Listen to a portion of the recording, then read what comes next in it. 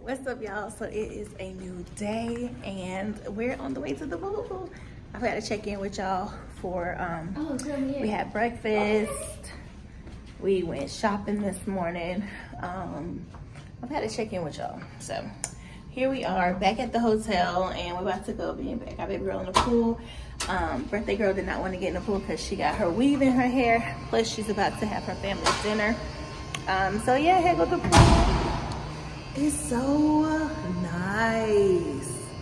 Look at that nice luxury room over there. I said luxury, but it's giving luxury, you know? Ooh, my lashes. Okay, ignore that.